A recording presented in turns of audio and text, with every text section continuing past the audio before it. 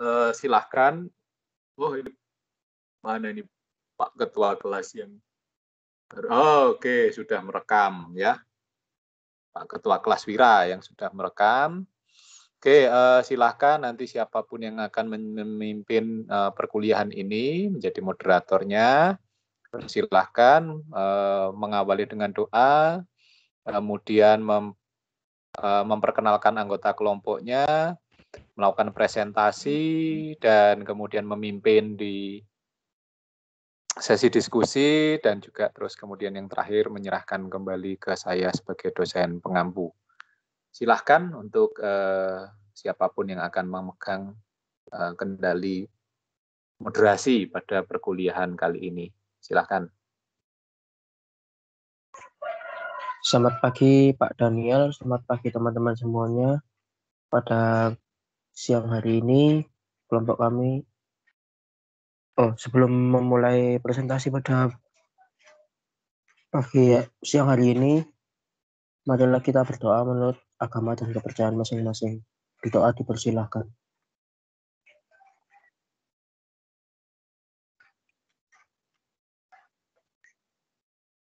Berdoa selesai. Ya, pada siang hari ini kelompok kami akan mempresentasikan hasil kerja kami. Perkenalkan, nama saya Carlos Valentio, ada teman saya Andi, Sefta, dan Adu.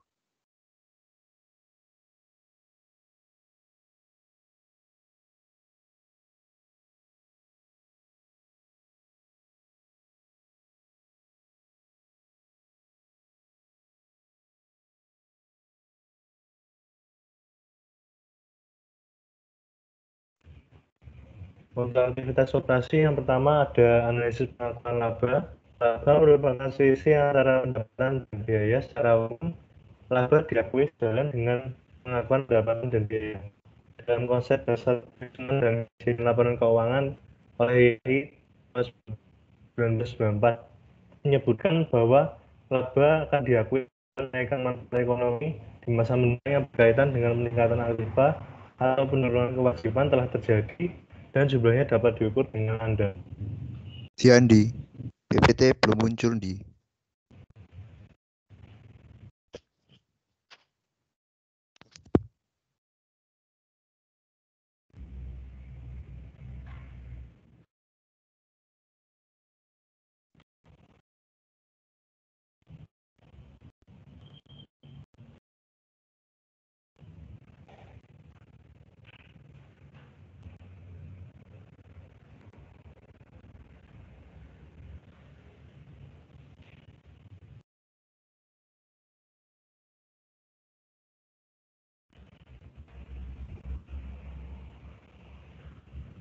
Sudah muncul PPT-nya?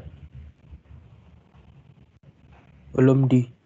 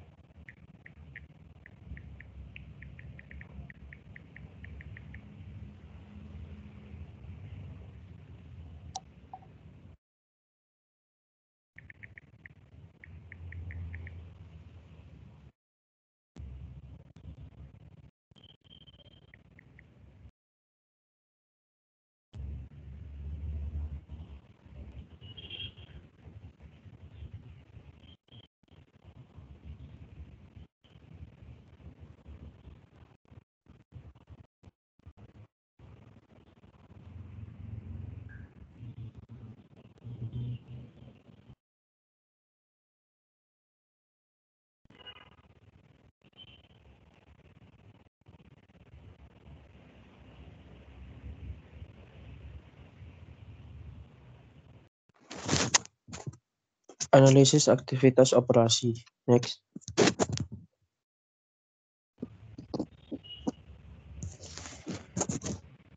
Analisis pengakuan laba. Laba merupakan selisih antara pendapatan dan biaya. Secara umum, laba diakui sejalan dengan pengakuan pendapatan dan biaya. Dalam konsep dasar penyusunan dan penyajian laporan keuangan, IAI tahun 1994 menyebutkan bahwa laba akan diakui apabila kenaikan manfaat ekonomi di masa mendatang yang berkaitan dengan peningkatan aktiva atau penurunan kewajiban telah terjadi dan jumlahnya dapat diukur dengan andal. Next.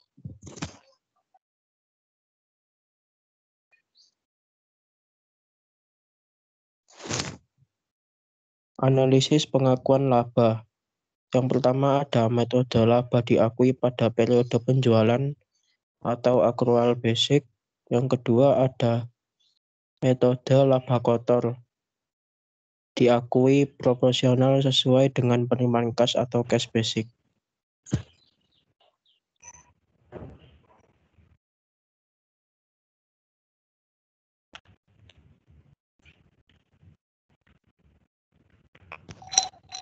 Selanjutnya, jenis-jenis beban.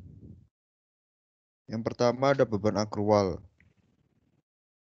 Beban akrual adalah beban yang masih harus dibayar, tapi pembayarannya belum dilakukan sampai pada periode berikutnya. Yang kedua ada beban kredit macet. Beban kredit macet adalah beban yang timbul atas tindakan tertagihnya piutang usaha. Yang ketiga ada beban lain-lain. Beban lain-lain adalah beban yang berasal dari transaksi periferal atau aktivitas sekunder perusahaan. Yang keempat, ada beban operasional. Beban operasional adalah beban beban yang terdiri dari beban penjualan, beban umum, dan beban administrasi. Lalu yang kelima, beban penjualan. Beban penjualan adalah beban-beban yang terkait langsung dengan segala aktivitas toko atau aktivitas yang mendukung operasional penjualan penjualan barang dagang. Lalu yang keenam ada beban penyusutan. Beban penyusutan adalah pengakuan atas penggunaan manfaat pro potensial dari suatu aktiva. Lalu yang ketujuh ada beban umum dan administrasi. Beban umum dan beban administrasi merupakan beban-beban yang dikeluarkan dalam rangka mendukung aktiva atau urusan kantor dan operasi umum. Lalu yang kedelapan ada beban yang ditangguhkan. Beban yang ditangguhkan adalah beban dibayar di muka atau pengeluaran-pengeluaran tertentu yang telah dibayarkan namun atas barang atau jasa yang belum digunakan. Selanjutnya, pengakuan beban menurut Ikatan Akuntansi Indonesia. Yang pertama, beban diakui dalam laporan laba rugi kalau penurunan manfaat ekonomi masa depan yang berkaitan dengan penurunan aktiva atau peningkatan kewajiban telah terjadi dan dapat diukur dengan modal. Yang kedua, beban diakui dalam laporan laba rugi atas dasar hubungan langsung antara beban yang timbul dan pos penghasilan tertentu diperoleh. Yang ketiga, kalau manfaat ekonomi diharapkan timbul selain beberapa periode akuntansi dan hubungannya dengan penghasilan hanya dapat ditentukan secara luas atau tidak langsung.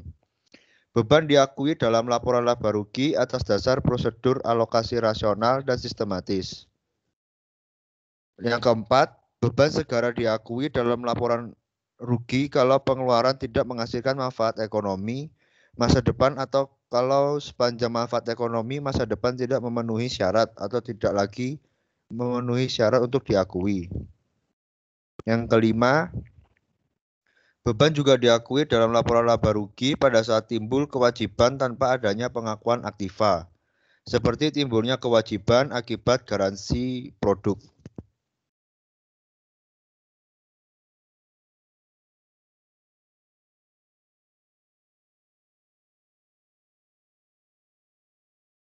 Kemudian ada pengukuran laba. Pengukuran terhadap laba merupakan penentuan jumlah rupiah laba yang dicatat dan disajikan dalam laporan keuangan. Dalam konsep dasar penyusunan dan penyajian laporan keuangan IAI menyebutkan bahwa laba akan diakui apabila kenaikan manfaat ekonomi di masa mendatang yang berkaitan dengan peningkatan aktiva atau penurunan kewajiban telah terjadi dan jumlahnya dapat diukur dengan andal.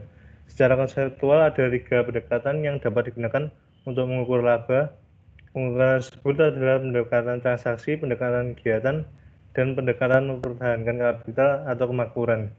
Yang pertama pendekatan transaksi. Pendekatan transaksi menganggap bahwa perubahan aktiva atau hutang terjadi hanya karena adanya transaksi, baik internal maupun eksternal. Transaksi eksternal timbul karena adanya transaksi yang melibatkan perubahan aktiva atau hutang dengan pihak luar perusahaan. Transaksi internal timbul dari pemakaian atau konversi aktiva dalam perusahaan. Pendekatan ini memiliki beberapa kebaikan yaitu komponen laba dapat diklasifikasikan dalam berbagai cara, misalnya atas dasar produk konsumen, kemudian laba operasi dapat dipisahkan dari laba non-operasi, dapat dijadikan dasar dalam menentuan tipe dan kuantitas aktiva dan hutang yang ada pada akhir periode, Lalu efisiensi, efisiensi usaha memerlukan pencatatan transaksi eksternal untuk berbagai tujuan. Berbagai laporan dapat dibuat dan dikaitkan antara laporan yang satu dengan laporan yang lainnya. Kemudian yang kedua ada pendekatan kegiatan. Laba dianggap timbul bila kegiatan tertentu telah dilaksanakan, jadi laba bisa timbul pada tahap perencanaan pembelian produksi, penjualan, dan pengumpulan kas. Dalam penerapannya, pendekatan ini merupakan pendekatan transaksi. Hal ini disebabkan pendekatan kegiatan dimulai dengan transaksi sebagai dasar pengukuran. Kebaikan pendekatan kegiatan adalah yang pertama, laba yang berasal dari produksi dan penjualan barang memerlukan jenis evaluasi dan prediksi yang berbeda dibandingkan laba yang berasal dari pembelian dan penjualan surat berharga yang ditujukan pada usaha untuk memperoleh capital gain. Kemudian kedua, efisiensi manajemen dapat diukur dengan lebih baik bila laba diklasifikasikan menurut jenis kegiatan yang menjadi tanggung jawab manajemen. Kemudian yang ketiga memungkinkan prediksi yang lebih baik karena adanya perbedaan pola perilaku dan dari jenis kegiatan yang berbeda. Kemudian yang ketiga, pendekatan mempertahankan kapital atau kemakmuran. Atas dasar pendekatan ini, laba diukur dan diakui setelah kapital awal dapat dipertahankan sebelum membahas pengukuran laba atas dasar konsep pertahanan kemakmuran. Dalam konsep mempertahankan kemakmuran, kapital di sini dimaksudkan sebagai kapital dalam arti kekayaan bersih, dalam artian luas, dan dalam berbagai bentuknya. Jadi, kapital diartikan sebagai sekelompok kekayaan tanpa memperhatikan siapa yang memiliki kekayaan tersebut. Laba didefinisikan merupakan perubahan dalam kapital perusahaan di antara dua titik waktu yang berbeda. Di luar perubahan karena investasi oleh pemilik dan distribusi kepada pemilik di mana kapital dinyatakan dalam bentuk nilai atau value didasarkan pada skala pengukuran tertentu. Dengan demikian, laba dapat diukur dari selisih antara tingkat kemakmuran pada akhir periode dengan tingkat kemakmuran pada awal periode. Laba sama dengan total aktiva neto pada akhir periode, kapital yang diinvestasikan. Konsep pengukuran laba ini disebut dengan konsep mempertahankan kapital atau kemakmuran. Kapital yang digunakan dalam konsep ini adalah kapital neto atau aktiva neto. Kapital dinyatakan dalam bentuk nilai ekonomi pada skala pengukuran tertentu. Pengukuran terhadap kapital sangat dipengaruhi oleh nilai atau unit pengukur. Jenis kapital dan skala pengukuran perbedaan terhadap ketiga faktor tersebut akan mengakibatkan perbedaan besarnya laba yang diperoleh. Next.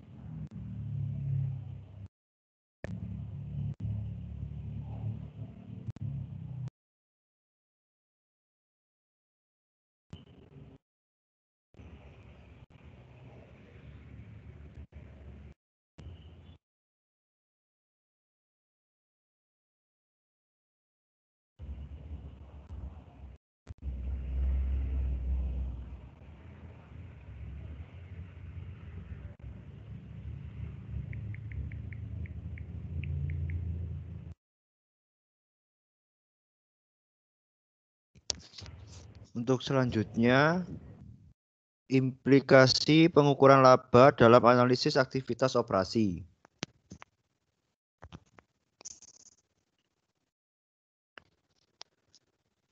Yaitu ada pengukuran laba. Pengukuran laba dibagi menjadi tiga. Yang pertama ada konsep laba. Laba merangkup merangkum dalam keuangan aktivitas operasi. Tujuan utama laporan laba rugi adalah menjelaskan bagaimana laba dihitung dengan komponen penting yang disaji dalam proses terpisah. Lalu mengukur laba akuntansi.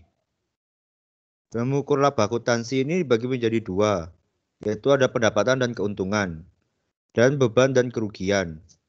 Pendapatan merupakan arus kas masuk yang diperoleh atau akan diperoleh yang berasal dari aktivitas usaha perusahaan yang masih berlangsung.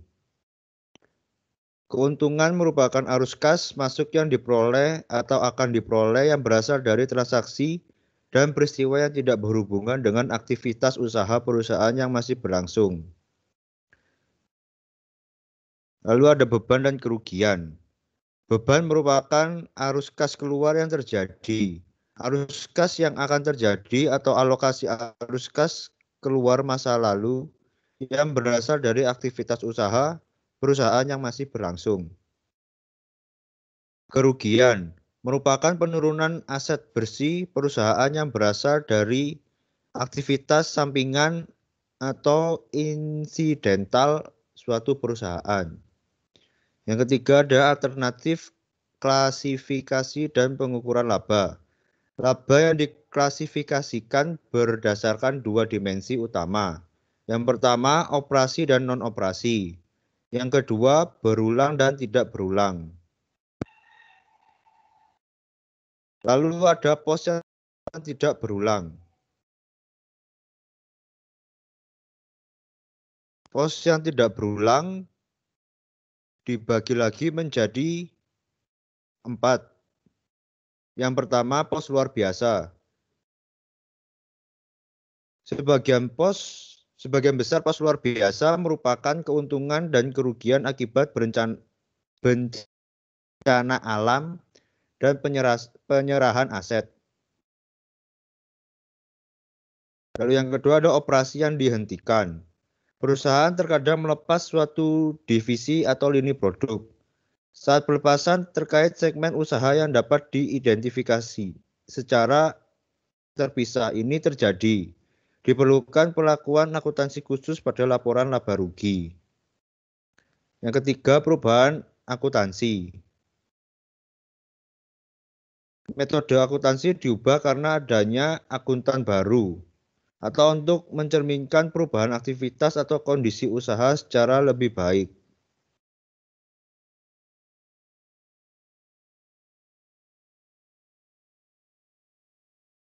Lalu yang keempat ada pos khusus.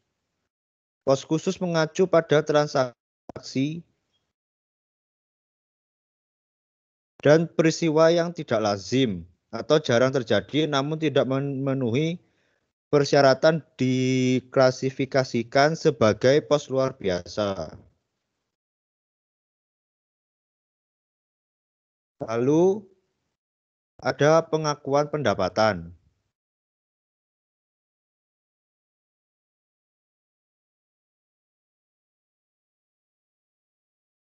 Yang keempat ada beban yang ditangguhkan.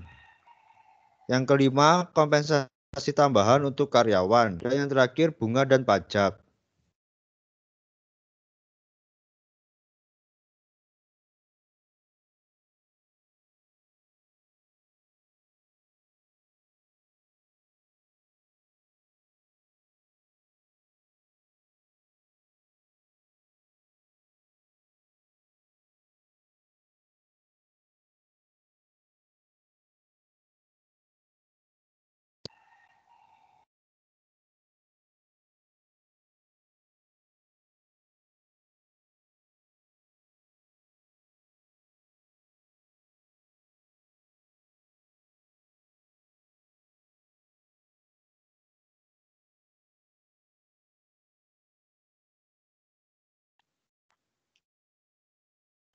Interpretasi, laba per lembar saham. Rumus menghitung EPS atau laba per lembar saham adalah laba bersih setelah pajak dikurangi dividen dibagi jumlah saham yang beredar. Next.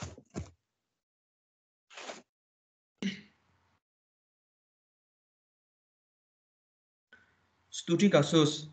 Tujuan penelitian ini adalah untuk menganalisa bagaimana perkembangan arus kas aktivitas operasi dan tingkat likuiditas pada PT Sarana Menara Nusantara, serta untuk menganalisa bagaimana pengaruh dari arus kas aktivitas operasi terhadap tingkat likuiditas PT Sarana Menara Nusantara Tbk. Metode penelitian yang digunakan di dalam penelitian ini yaitu metode deskriptif dan metode uji statistik, yaitu analisa korelasi, koefisien determinasi, regresi nilainya sederhana, dan uji hipotesis, serta dibantu dengan menggunakan SPSS 22.00 for Windows. Data yang digunakan adalah data sekunder dari laporan arus kas aktivitas operasi dan raca pada PT Sarana Menara Nusantara Tbk. Next.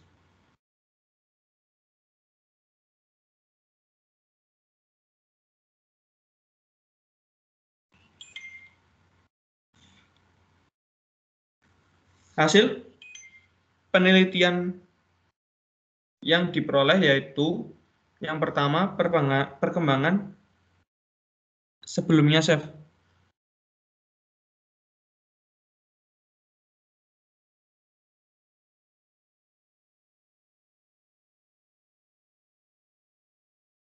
Hasil penelitian yang diperoleh yaitu yang pertama perkembangan arus kas aktivitas operasi pada PT Sarana Menara Nusantara Tbk tiap tahunnya selalu mengalami kenaikan. Yang kedua, perkembangan arus tingkat likuiditas pada PT Sarana Menara Nusantara Tbk tiap tahunnya mengalami fluktuasi yang cenderung mengalami kenaikan. Yang ketiga, arus kas aktivitas operasi tidak berpengaruh signifikan terhadap tingkat likuiditas. Pengaruhnya hanya sebesar 51,84 persen. Next.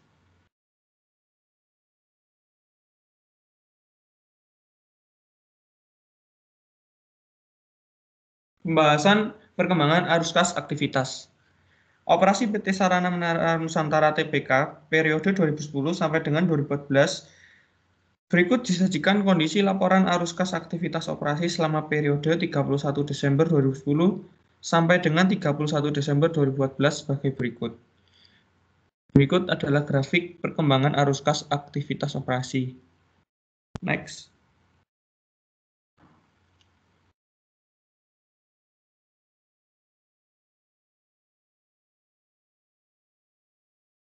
Dalam melihat perkembangan tingkat likuiditas PT Sarana Menara Nusantara Tbk periode 2010 sampai dengan 2014, penulis menggunakan rumus quick ratio. Quick ratio merupakan rasio yang tepat untuk memperhitungkan utang-utang perusahaan dalam jangka pendek dengan menggunakan aset lancar yang ada. Karena pada quick ratio tidak semua aset lancar yang diperhitungkan, hanya aset yang cepat atau quick asset yang dibandingkan dengan jumlah keseluruhan utang-utang lancarnya. Berikut adalah grafik perkembangan tingkat likuiditas. Next.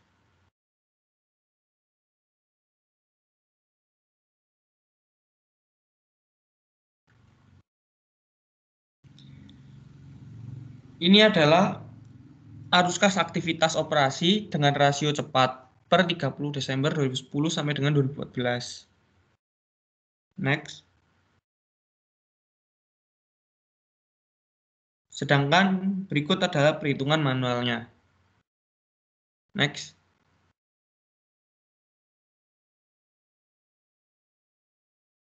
Berikut adalah hasil data pengolahan SPSS. Dengan percent correlation 0,72. Rumus yang digunakan adalah KD sama dengan R kuadrat kali 100%. Next.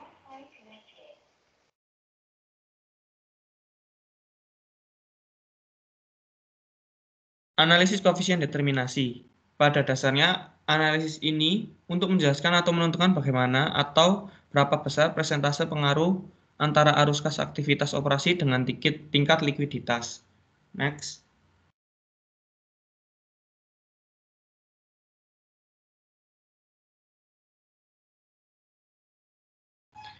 Ini adalah jawaban ketika menggunakan SPSS. Next.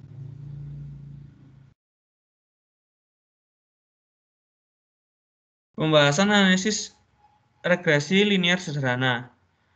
Analisis regresi linear sederhana dilakukan untuk mempertegas atau membuktikan seberapa jauh hubungannya yang diperkirakan antara variabel X dengan variabel Y. Hasil perhitungan manual yaitu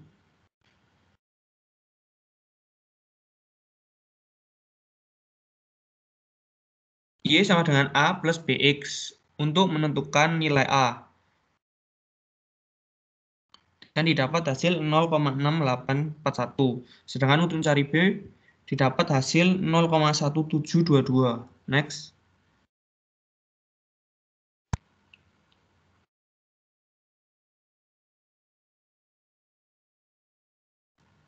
Berikut jika menggunakan aplikasi SPSS. Next.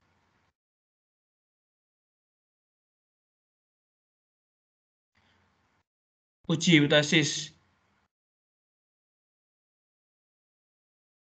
Nilai T hitung dapat dicari dengan persamaan sebagai berikut. Next.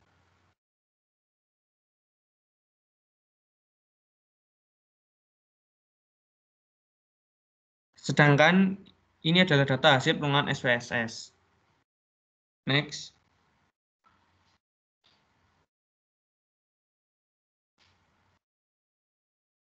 Berdasarkan hal tersebut, maka dapat disimpulkan sebagai berikut. Perkembangan arus kas aktivitas operasi pada PT Sarana Menara Nusantara TBK selama periode 2010 hingga 2014 selalu mengalami peningkatan.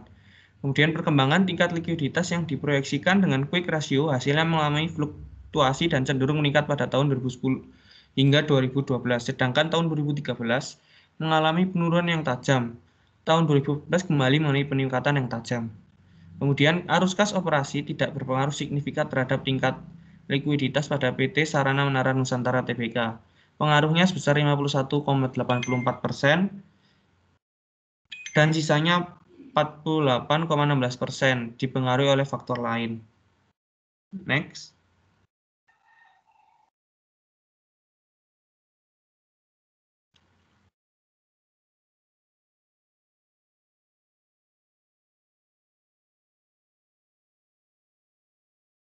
Implikasi penelitian ini hanya menggunakan arus kas operasi yang dihubungkan dengan likuiditas. Apabila dalam penelitian ini ditambahkan arus kas dari aktivitas investasi maupun pendanaan serta memperluas periode pengamatan, maka hasil penelitian juga akan berbeda. Next.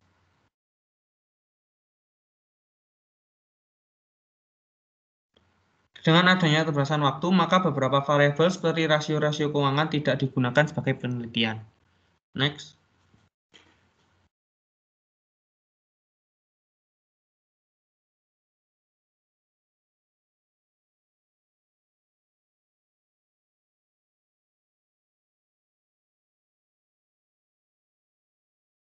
Sekian dari presentasi dari kelompok kami. Kami akan membuka tiga sesi pertanyaan. Sesi pertama tiga pertanyaan. Dipersilahkan.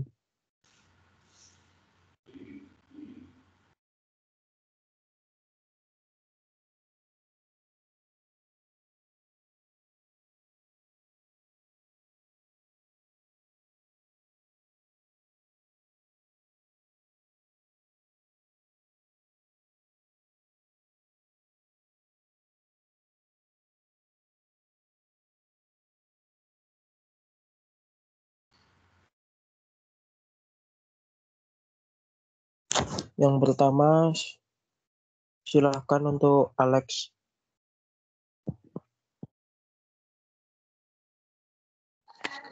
Baik, terima kasih atas waktunya. Perkenalkan saya Alex dengan NIM 12 Saya ingin bertanya, apa dampak yang terjadi jika arus kas dari aktivitas operasi mengalami peningkatan dalam pertumbuhannya? Terima kasih. Terima kasih Alex untuk pertanyaannya. Yang selanjutnya Monica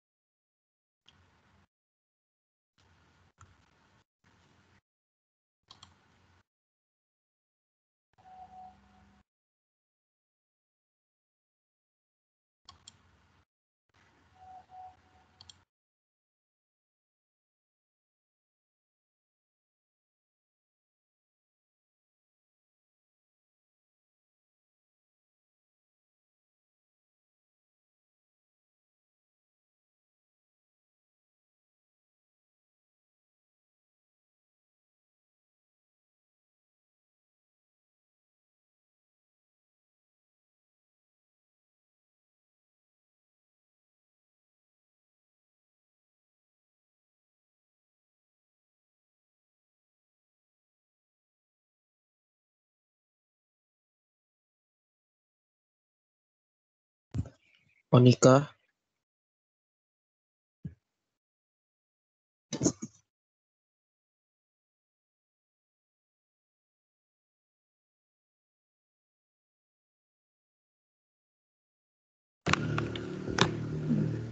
Baik, terima kasih kesempatannya. Saya Onika dengan NIM 1219138 eh, ingin bertanya.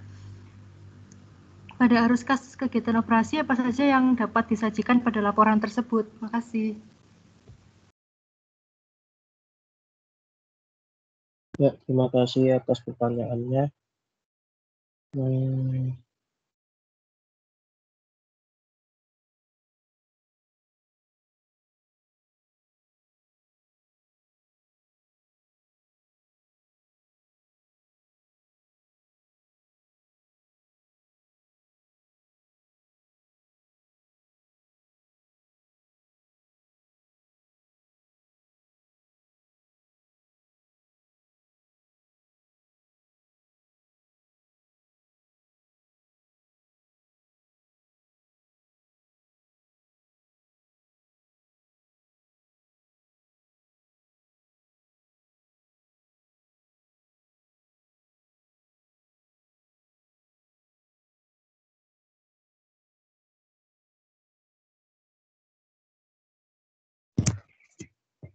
selanjutnya dipersilakan untuk Feni memberikan pertanyaan. Baik, terima kasih atas kesempatan yang diberikan. Perkenalkan nama saya Feni dengan NIM 1219112. Saya ingin bertanya bagaimana perlakuan akuntansi operasi yang dihentikan dan bagaimana seharusnya analis memperlakukan operasi yang dihentikan. Terima kasih. Baik, terima kasih atas pertanyaannya. Eh, kami akan mendiskusikan jawaban terlebih dahulu.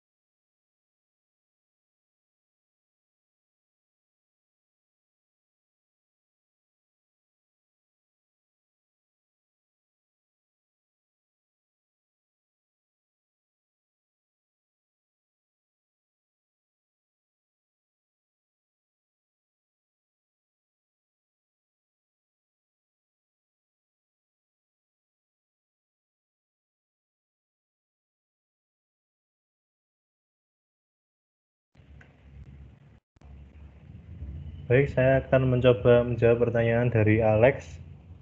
Tadi pertanyaannya apa dampak yang baik jika arus kas dari aktivitas operasi meningkat atau pertumbuhannya positif? Arus kas dari aktivitas operasi jika meningkat dari tahun ke tahun akan memberikan sinyal adanya kinerja keuangan pemerintah daerah yang baik. Dengan begitu, arus kas operasi yang positif dan meningkat akan digunakan oleh pemerintah daerah untuk sumber pembiayaan da- daerah dalam rangka menggali- mengembalikan pinjaman daerah dan menambah investasi daerah serta memberi subsidi pada masyarakat. Apakah sudah bisa menjawab, Alex? Makasih Indi. Oke.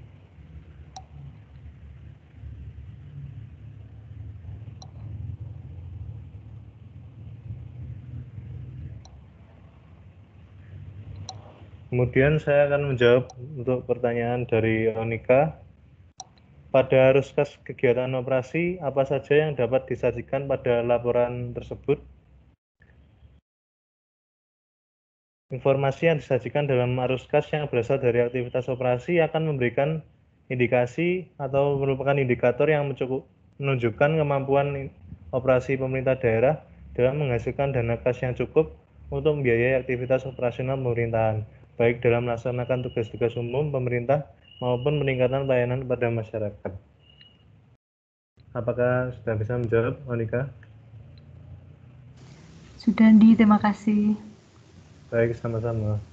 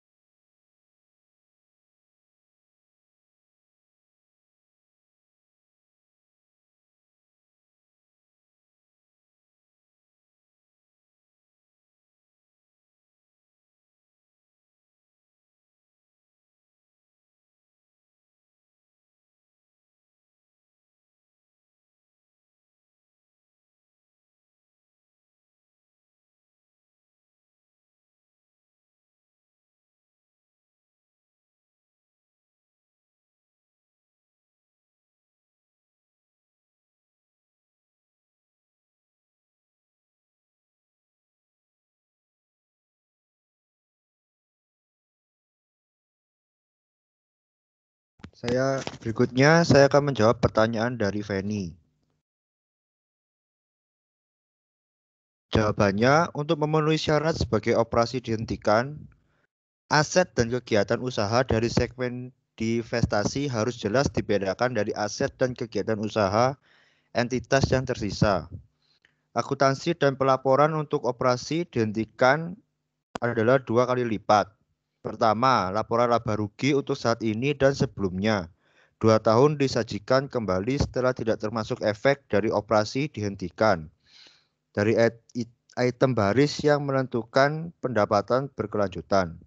Kedua, keuntungan atau kerugian yang berkaitan dengan operasi dalam penghentian dilaporkan secara terpisah. Setelah dikurangi pengaruh pajak yang bersangkutan, seorang analisis harus memisahkan dan mengabaikan operasi dihentikan dalam memprediksi kinerja masa depan dan kondisi keuangan. Bisa dipahami, Feni? Sudah bisa. Terima kasih, Sefta. Oke.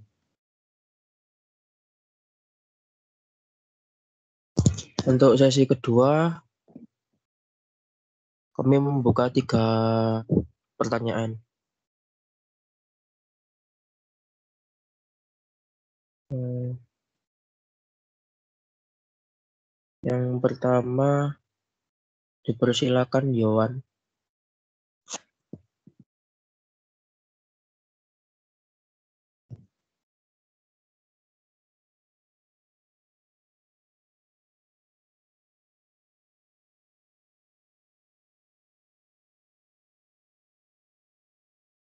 Baik, terima kasih atas waktunya. Saya Yohan, 12 19 141, ingin bertanya. Hal-hal apa saja harus dipertimbangkan saat menganalisis perubahan akuntansi? Terima kasih.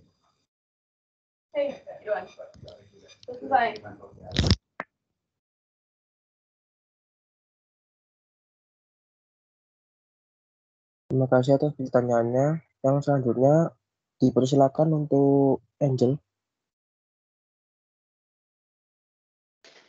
Baik, terima kasih atas waktunya.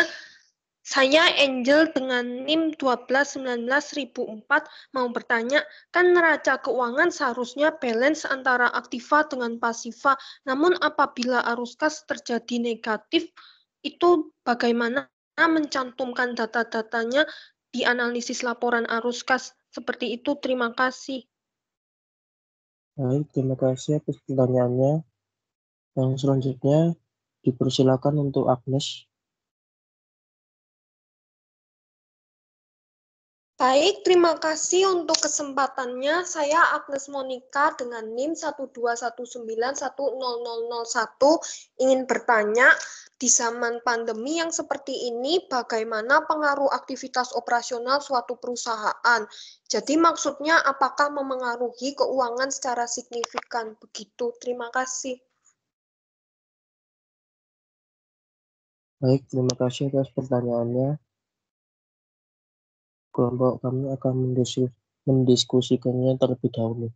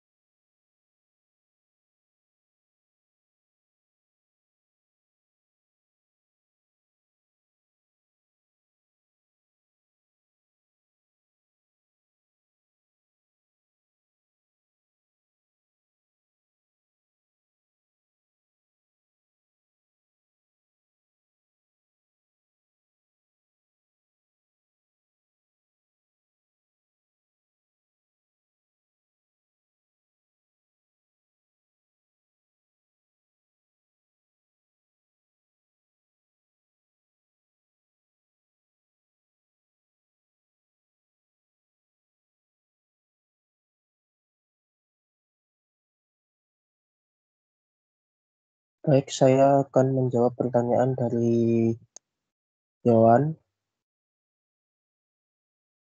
Dampak yang baik jika arus kas dari operasi aktivitas operasi meningkat atau pertumbuhannya positif. Jawabannya, arus kas dari aktivitas operasi jika meningkat dari tahun ke tahun akan memberikan sinyal adanya kinerja keuangan pemerintah daerah yang baik. Dengan begitu, arus kas operasi yang positif dan meningkat akan digunakan oleh pemerintah daerah untuk sumber pembiayaan daerah dalam rangka mengembalikan pinjaman daerah, menambah investasi daerah, dan memberi subsidi pada masyarakat. Apa sudah menjawab, Yohan?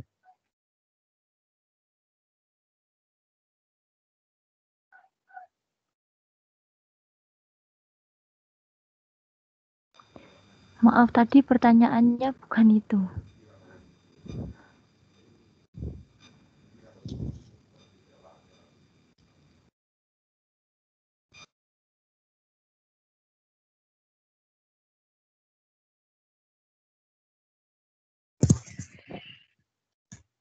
Bisa diulangi, Yon, untuk pertanyaannya?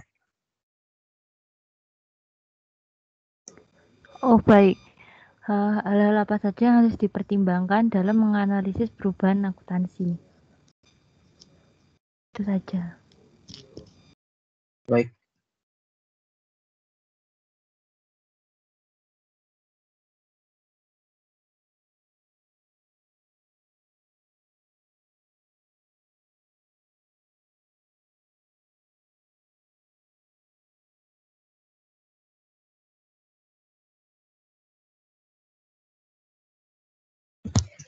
Uh, untuk hal yang harus dipertimbangkan saat menganalisis perubahan akuntansi yang pertama adalah perubahan akuntansi dan tidak memiliki konsekuensi arus kas baik saat ini maupun masa depan. Yang kedua, perubahan dapat mencerminkan realita ekonomi. Yang ketiga, perubahan akuntansi biaya termotivasi oleh manajemen laba sehingga kadang terjadi manipulasi laba. Yang keempat, menilai dampak perubahan akuntansi terhadap perbandingan antar waktu. Artinya memastikan bahwa setiap perbandingan, terutama antar waktu, dibuat berdasarkan suatu set aturan akuntansi yang konsisten. Yang kelima, mengevaluasi dampak perubahan akuntansi baik terhadap laba ekonomi maupun laba permanen. Apakah sudah menjawab, Yon? Baik, sudah. Terima kasih. Iya.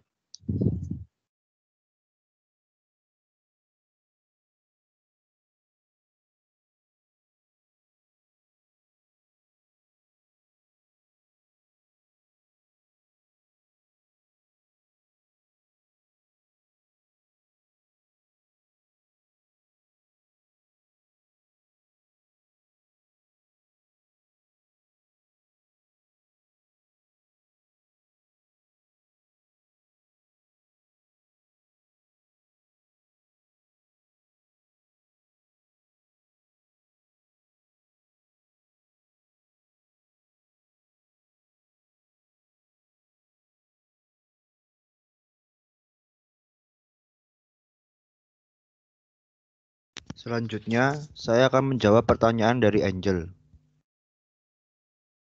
Neraca keuangan seharusnya balance antara aktiva dan pasiva. Namun apabila arus kas negatif, maka analisa laporan arus kas harus mencantumkan data-data income dan outcome yang terperinci disertai dengan data tujuan pemakaian sehingga analisa arus kas negatif dapat diperbaiki. Misalnya adanya pembelanjaan atau pengeluaran kas yang tidak relevan dan lain-lain. Apakah bisa dipahami, Angel? Ya, sudah bisa dipahami, Sefta. Terima kasih. Oke.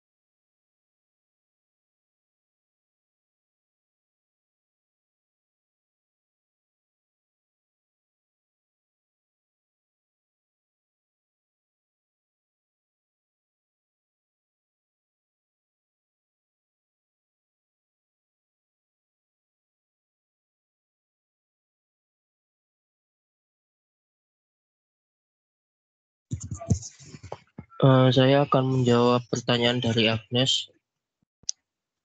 Di zaman pandemi yang seperti ini, bagaimanakah pengaruh aktivitas operasional suatu perusahaan?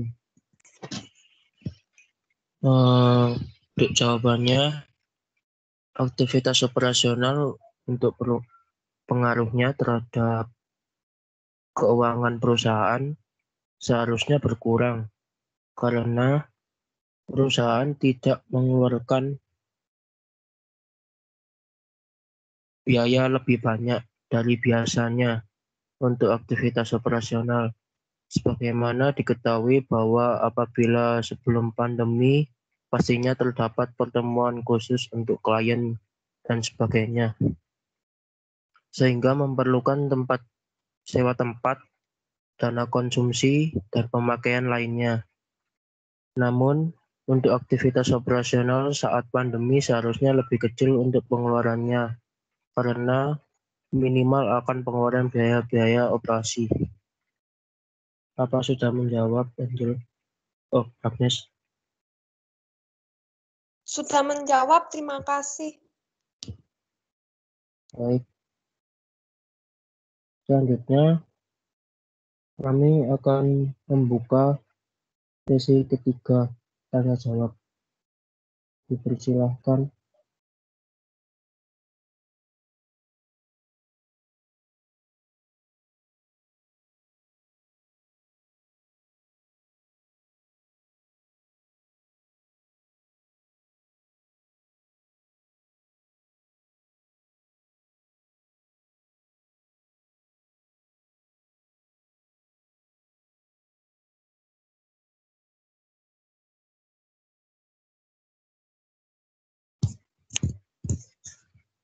Dipersilakan Isabella Mariana. Baik, terima kasih atas kesempatannya. Nama saya Isabella, NIM 12132. Dan saya ingin bertanya, apakah dari arus kas aktivitas operasi itu sama dengan laba bersih ya? Terima kasih. Baik, terima kasih atas pertanyaannya. Untuk selanjutnya dipersilakan Cynthia. Ya, terima kasih. Nama saya Cynthia Dwi Alverina dengan NIM 1219143. Uh, saya mau tanya, jika arus kas dari aktivitas operasi negatif, bagaimana solusinya? Terima kasih. Baik, terima kasih.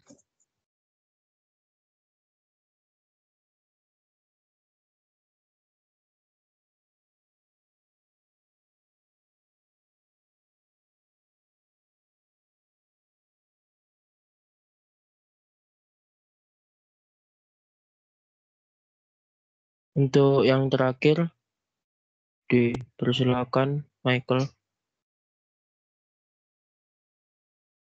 Baik, terima kasih untuk waktu dan kesempatannya. Saya Michael Roland Wijaya dengan NIM 121910034. Eh, pertanyaan saya adalah kriteria apa saja untuk beban dapat diakui dan apakah ada beban yang tidak dapat diakui? Jika ada beban yang tidak diakui seperti apa yang tidak diakui itu? Terima kasih.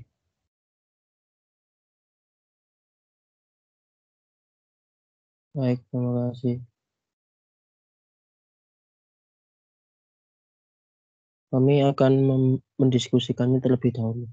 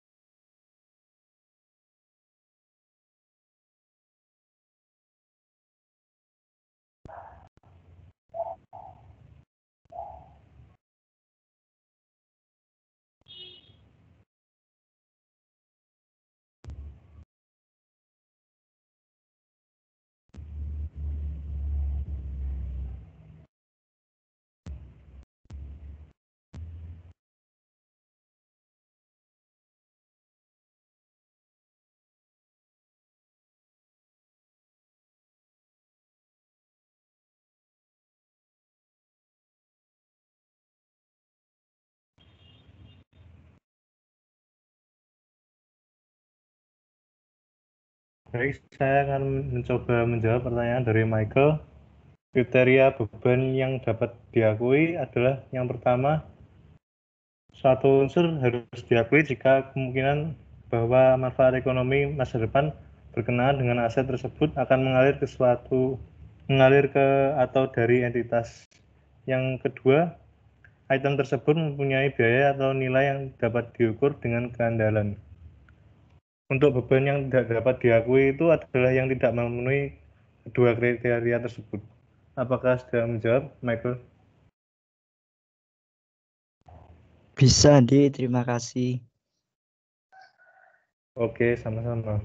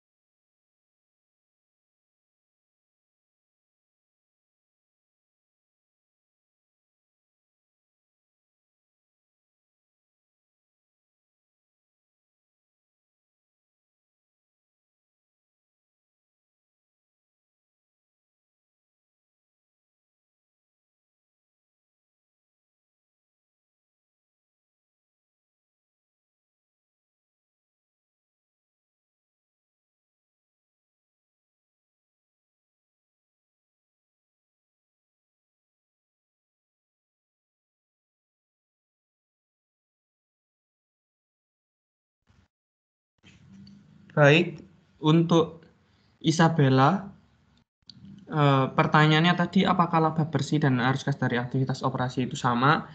Saya akan mencoba menjawabnya. Jadi, laba bersih dan arus kas dari aktivitas operasi itu berbeda. Laba bersih itu adalah item baris di bagian aktivitas operasi dari laporan arus kas. Laba bersih itu dihitung dengan mengurangkan biaya penjualan, biaya operasional, penyusutan, amortisasi, bunga, dan pajak dari jumlah pendapatan. Laba bersih juga disebut laba akuntansi, termasuk dalam laporan laba rugi beserta semua pendapatan dan biaya. Sedangkan arus kas dari operasi mencangkup barang-barang tertentu yang diperlakukan berbeda dalam laporan laba rugi. Biaya non-cash seperti depresiasi, amortisasi, dan kompensasi berbasis saham harus disertakan untuk menghitung laba bersih. Namun biaya tersebut tidak mengurangi jumlah uang tunai yang dihasilkan perusahaan dalam periode tertentu. Biaya ini ditambahkan kembali ke laba bersih pada laporan arus kas. Begitu, Isabella, apakah menjawab pertanyaannya? Iya, sudah. Terima kasih. Terima kasih.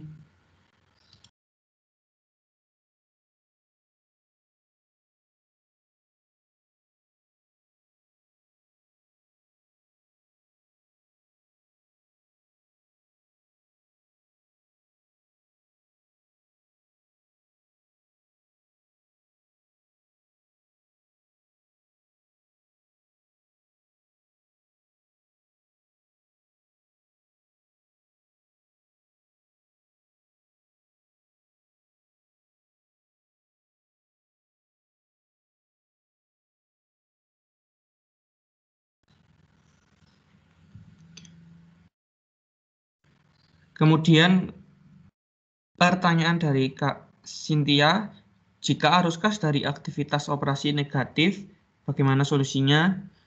Saya juga akan mencoba untuk menjawab.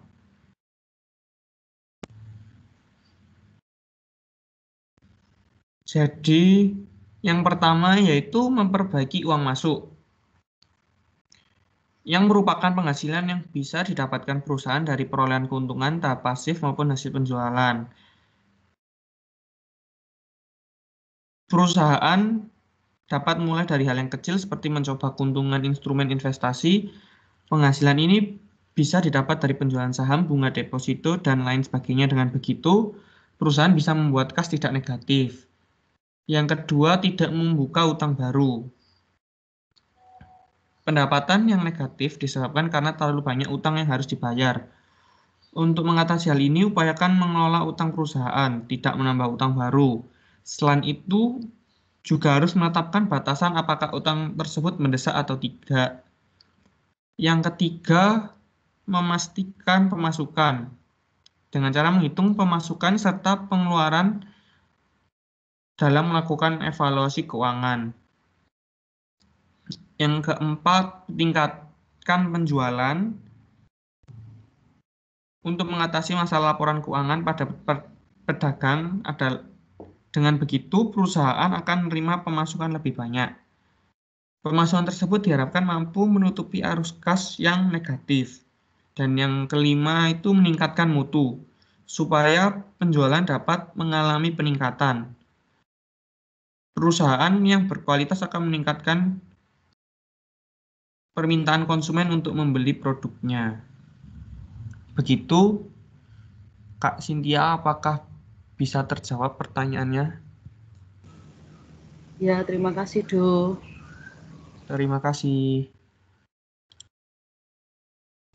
Saya kembalikan ke moderator. Baik, terima kasih. Sekian dari presentasi kami. Uh, saya kembalikan kepada Pak Daniel.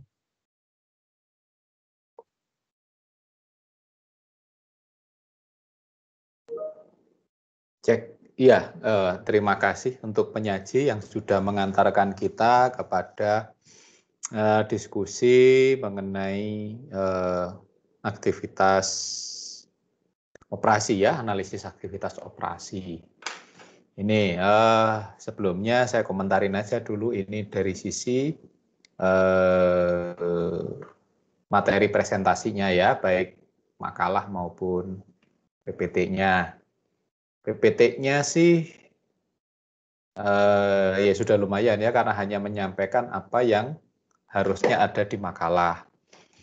Tapi sayangnya untuk PPT-nya tadi masih uh, terkesan power apa power text gitu ya. Ada banyak yang kemudian eh, ditampilkan dalam bentuk teks utuh seperti yang ada di makalah, tidak kemudian eh, bentuknya itu gambar atau icon atau cuman keterangan sedikit yang kemudian dijelaskan. Akhirnya terlebih waktu di belakang ya, waktu di belakang-belakang, waktu di apa eh, di studi kasus pembahasan studi kasus itu kan uh, ini presi apa? Uh, kemudian ini uh, dari ini dari apa? Uh, dari SPSS ini uh, kemudian apa dari SPSS ini dari SPSS jadi seakan-akan di apa ya kita itu tidak diceritakan isinya apa tapi kemudian diminta untuk membaca sendiri gitu ya.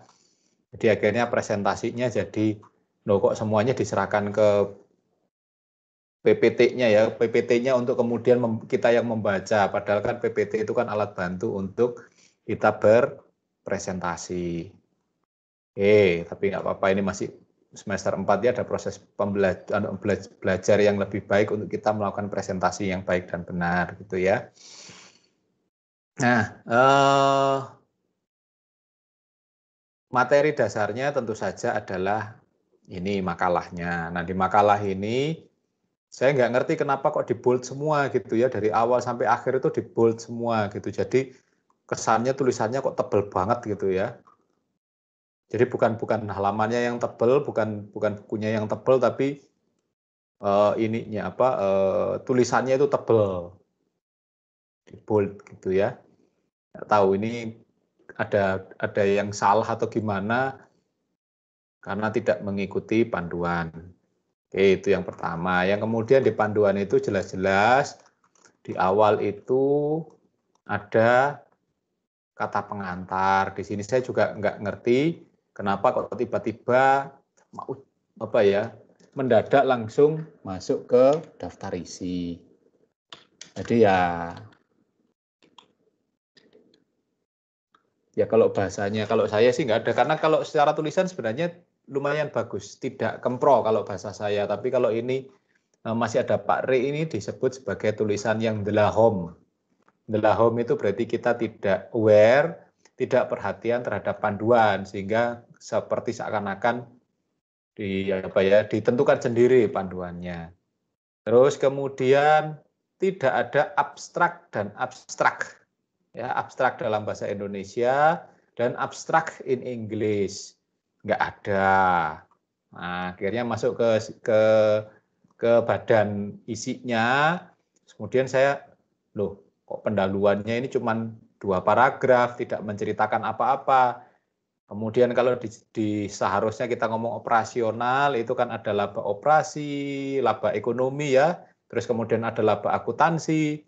Kok ini nggak ada cerita tentang itu, cuman dua paragraf saja yang bercerita tentang laba ekonomi secara umum dan laba akuntansi secara umum, tapi tidak detail gitu ya.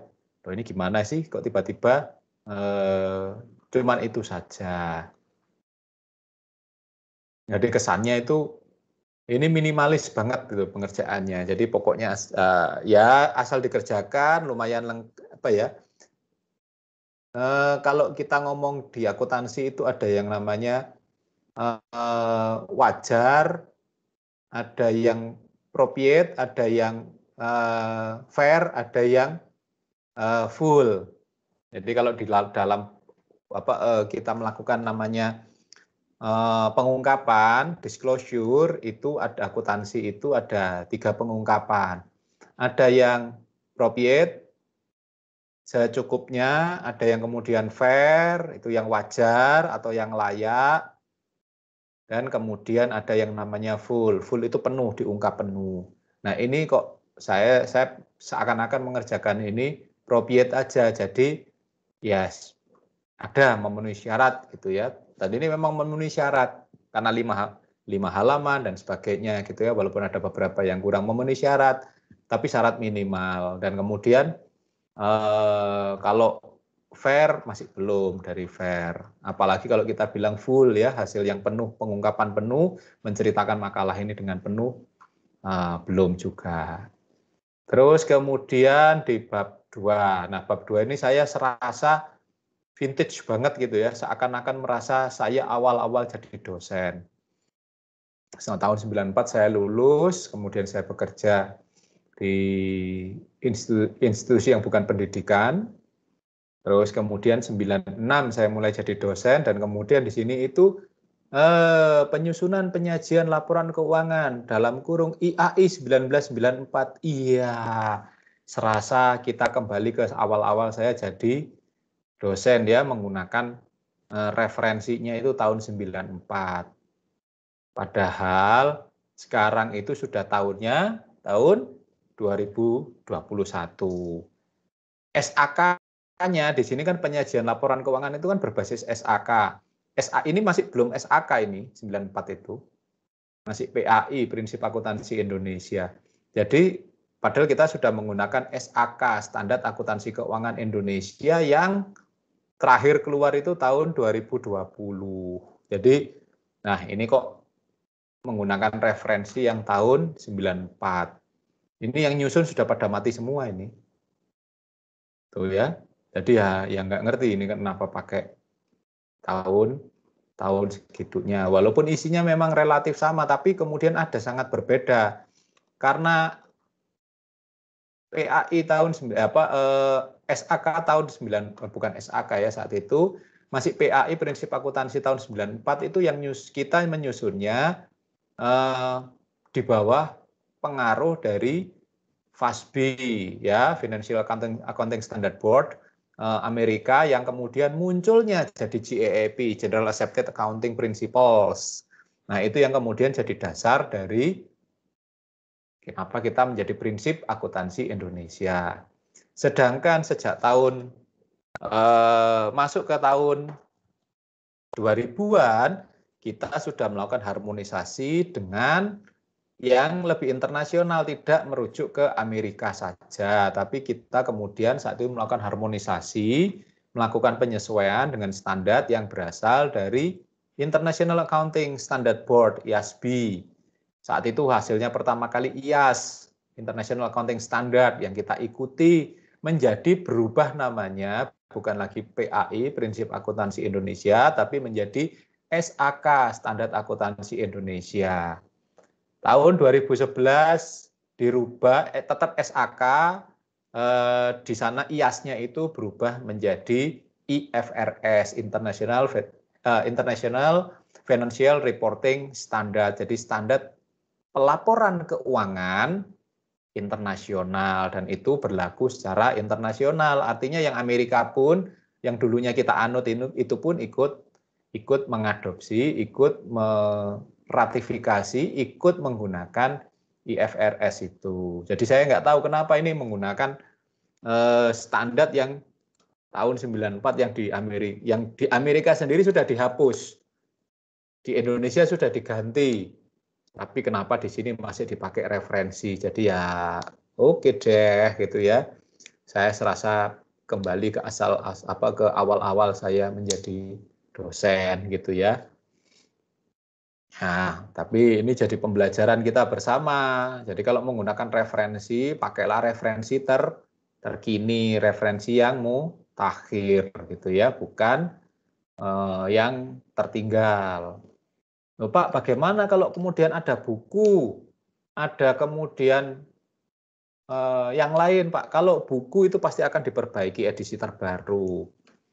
Tapi kalau kemudian Pak, bagaimana dengan jurnal? Nah, kalau jurnal itu beda karena jurnal itu kan sekali dikerjakan, dia bentuknya seminal work, artikel di dalam jurnal, seperti pen, uh, saat kemudian mengungkapkan yang namanya uh,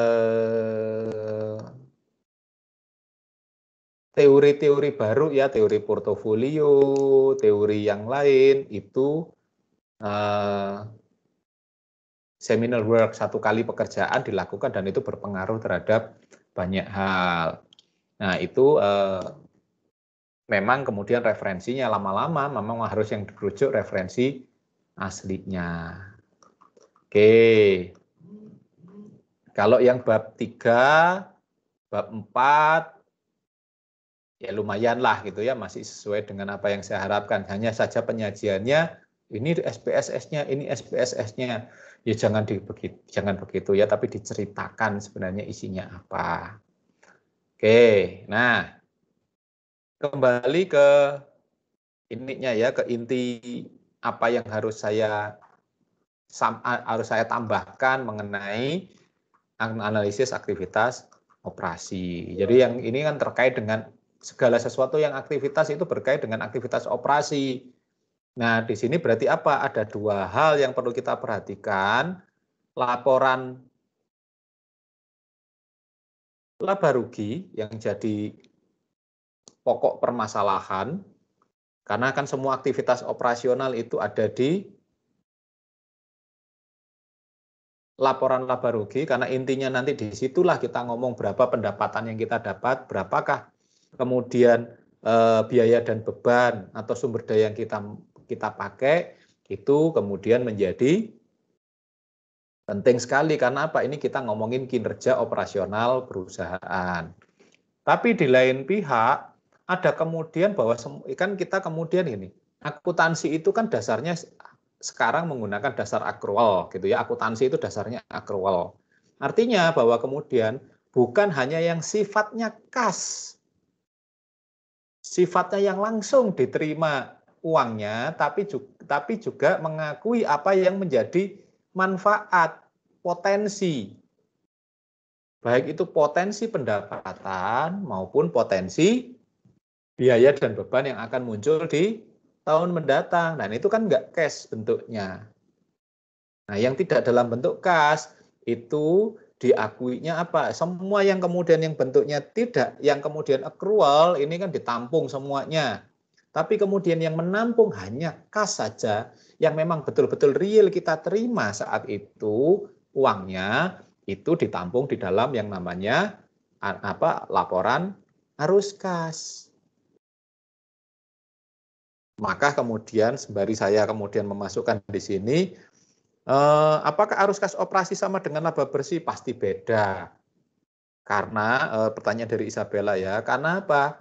Karena yang namanya laporan laba rugi atau yang hasil di bawahnya bottom line-nya itu adalah laba bersih, itu menampung semua transaksi penerimaan dan pengeluaran oleh perusahaan yang baik itu yang kas maupun yang non kas. Tadi sudah diceritakan, dijelaskan dengan baik oleh siapa tadi saya lupa itu. Itu yang kemudian bercerita bahwa kemudian contohnya apa depresiasi itu diakui di laba rugi tapi tidak muncul di arus kas karena dia non kas. Ada yang lain lagi, apa contohnya penjualan. Loh, Pak, penjualan apa bentuknya?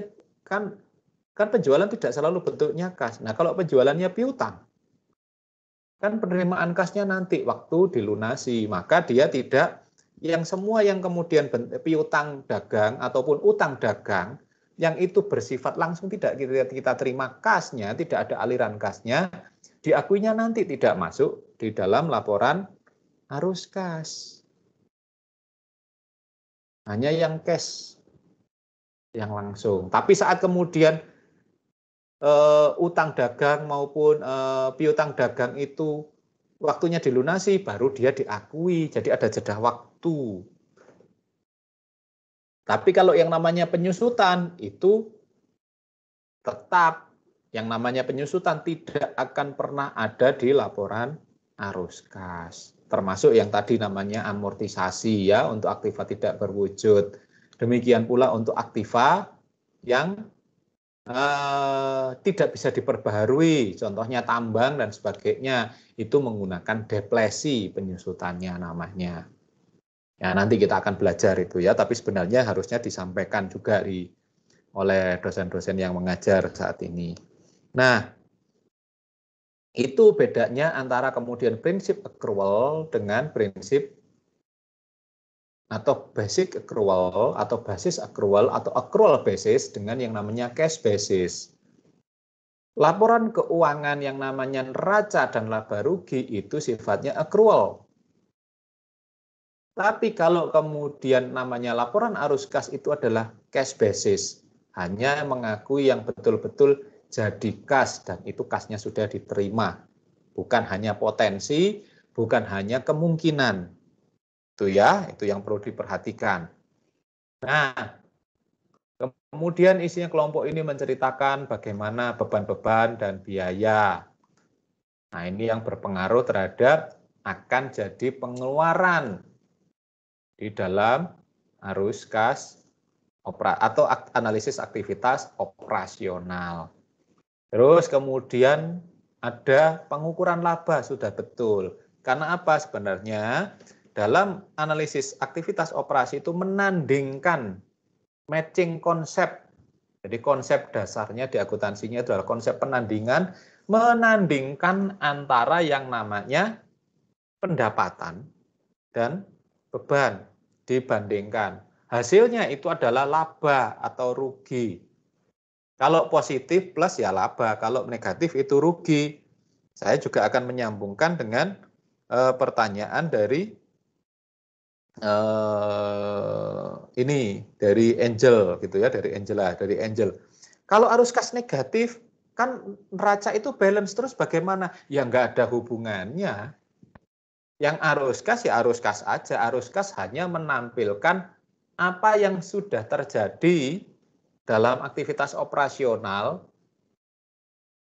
terutama yang kas, itu muncul bahwa kemudian hasilnya negatif rugi. Ya sudah rugi ini menjadi saldo. Karena gini kan kita ngomong laporan laba rugi. Laba rugi itu kan semuanya lengkap nih.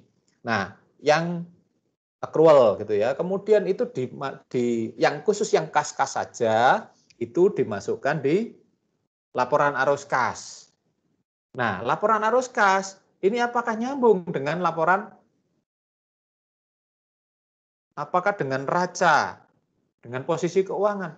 Ya enggak, karena yang nyambung itu adalah laporan laba rugi, laba rugi saja. Nah, itu laba rugi di bawah itu, terus kemudian setelah dibagi-bagi-bagi kan ada saldo laba. Nah, saldo laba ini adalah bagian ekuitas dari neraca. Dia jadi balance karena positif negatifnya itu di saldo laba. Semua kita sudah dapatkan. Nah, positif negatifnya itu di saldo laba.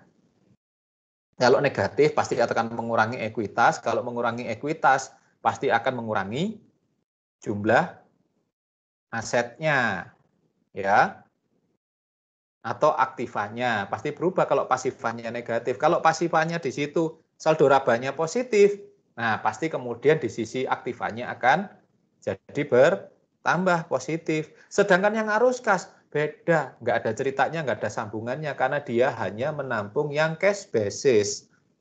Mereka yang belajar bukan akuntansi yang namanya tata buku mengakui hanya yang memang kas-kas gitu ya. Nah, itu munculnya di arus kas itu. Jadi arus kas itu adalah penampungan untuk laporan-laporan keuangan yang sifatnya kas. Tapi apakah di, di dalam laporan akuntansi yang namanya laporan keuangan itu semuanya sifatnya kas? Enggak. Ada depresiasi, ada utang, piutang apa utang dagang, piutang dagang, itu kan tidak langsung gitu apa ada duitnya ya itu ya kemudian harus tidak kemudian masuk di laporan arus kas kecuali saat dibayar. Nah, itu. Jadi tidak semua laporan keuangan itu nyambung. Kalau yang namanya neraca dan laba rugi, yang namanya posisi keuangan dengan laba rugi pasti nyambung. Kalau tidak nggak mungkin eh, jadi satu bagian. Arus kas itu beda. Itu ya. Jadi eh, ini kita ngomong akuntansi secara secara keseluruhan. Ini sudah masuk ke teori akuntansi sebenarnya, tapi nggak apa-apa daripada Anda salah salah persepsi. Itu ya. Nah, oh yang lain lagi sebenarnya kelompok ini saya tadi heran aja kenapa kemudian Andi ini terus kemudian awal-awal tadi siapa Carlos kalau nggak salah menggunakan pendekatan pemerintah daerah jadi kemudian cerita arus kas gini gini gini untuk pemerintah daerah ini ini, ini dan sebagainya. Apalagi khususnya untuk menjawab pertanyaan yang di kelompok pertama gitu ya. Loh, kita kan belajar akuntansi keuangan. Akuntansi yang itu dibahas khusus di SAK itu untuk entitas, untuk usaha, untuk perusahaan. Loh, sekarang enaknya omong saya ini tidak terlalu paham, tidak meng, tidak terlalu menguasai yang namanya standar akuntansi pemerintah SAP. Atau kalau kemudian di sini nanti kalau Anda belajarnya mata kuliahnya itu adalah sektor publik. Kenapa ngomongin pemerintah daerah? Kenapa ngomongin subsidi? Saya serasa tidak di kuliah analisis laporan keuangan. Karena apa? Ngomongin pemerintah daerah. Ini ini yaitu tadi kalau ini ada Pak Le, Pak Re gitu kan, waduh ini delahomnya double ini. Loh, kita itu kan pelajarannya akuntansi keuangan, ngomongin perusahaan, ngomongin entitas. Kok pemerintah daerah ya? Uh, oh ini rupanya yang dibaca yang salah. Ya. Karena kan karena tidak ada saya, tidak ada saya ketemu langsung gitu kan. Nah, kalau kecuali kalau di kelas anda ketemu dengan saya presentasi pasti Anda tidak akan bisa semena-mena memanfaatkan eh, gadget Anda untuk kemudian melakukan gitu. Jadi ya enaknya ngomong saat presentasi, oke, okay, setelah presentasi semua gadget ditaruh, dimatikan, plek, udah langsung diskusi tanya jawab. Ketahuan kalau dia nggak menguasai materi ya tolah-toleh betul. Nah, nah ini gitu, ini ini terbukti saat Anda membaca pun, membuka Google, membuka website apa pun yang Anda buka, ternyata juga masih salah. Karena kita ngomongin akuntansi keuangan, kita ngomongin entitas, kita ngomongin perusahaan, yang di, yang dipakai menjelaskan itu akuntansi pemerintahan dengan subsidi dan teman-temannya. Dan anehnya, yang nanya pun juga kemudian ya saya terima, saya mengerti. Lah ini, jadi salahnya semakin berjamaah ini ya, salah bareng-bareng gitu ya. Jadi tolong nanti kemudian membaca pun juga harus memisahkan. Jadi eh, akuntansi itu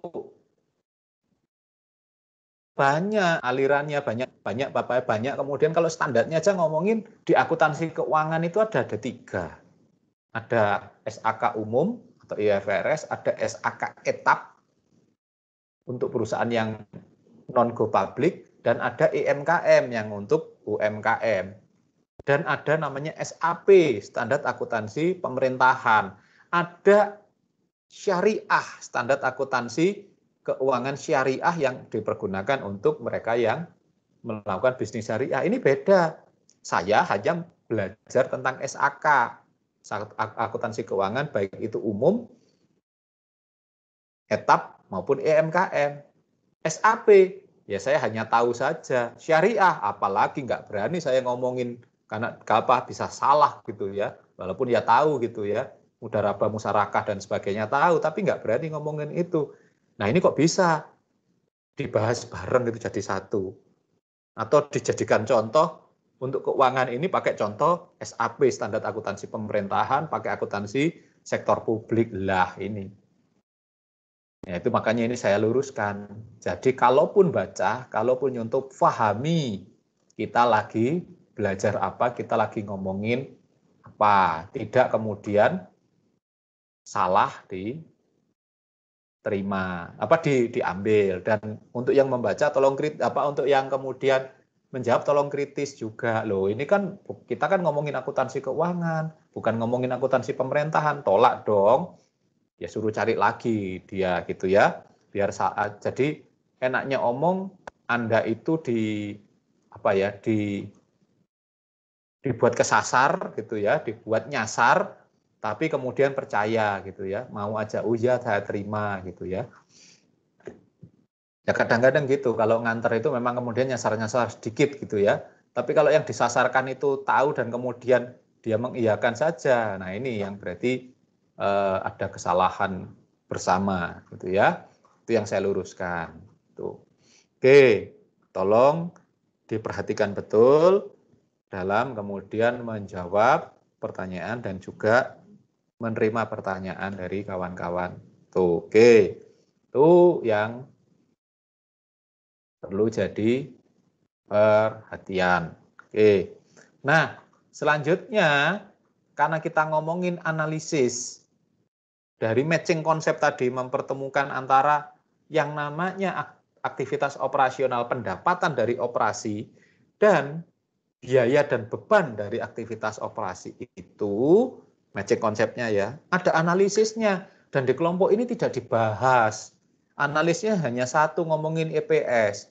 Padahal kalau kita tahu di situ ada ada ada beberapa cara menganalisis yang tidak muncul di kelompok ini. Makanya saya katakan minimalis gitu ya. Hanya pokoknya ada gitu lengkap semuanya tapi ternyata detail-detailnya tidak terbahas. Yang pertama, karena kita ngomongin aktivitas operasional, kita kan harus ngomongin namanya analisis break even point. Berapa sebenarnya titik impas. Kalau kemudian kita beroperasi, terus kemudian kita hitung dari awal, eh ternyata aktivitas kita itu di bawah lebih besar pasak daripada tiang, lebih besar biayanya daripada pendapatannya. Mending dihentikan. Ya, ada aktivitas kemudian aktivitas operasi yang dihentikan seperti pertanyaannya uh, Feni. Harus dihentikan karena apa? Tidak menguntungkan. Kita tahu sudah tahu rugi pasti akan rugi. Masih saja terus dioperasi dioperasikan. Ya pasti nggak bisa harus dihentikan nah syarat-syaratnya seperti apa tadi sudah dijelaskan oleh uh, Carlos ya kalau nggak salah nah itu tentang apa, apa yang harus dihentikan. Oh ada laporannya begini, begini, begini. Tadi sudah dijelaskan, sudah dijelaskan dengan baik dan benar. Nah, harus dihentikan. Berarti pertama itu ngomong kita ngomong apa? BEP, break even point. Berapa titik impas, berapa saat kemudian biaya, pendapatan dan biaya dan beban itu jumlahnya sama. Baik apa? Impas secara perhitungan secara jumlahnya, maksudnya barangnya berapa, volumenya, maupun nominalnya nilainya berapa. Itu tidak dijelaskan oleh kelompok ini. Nanti tolong ditambahkan ya analisis BEP.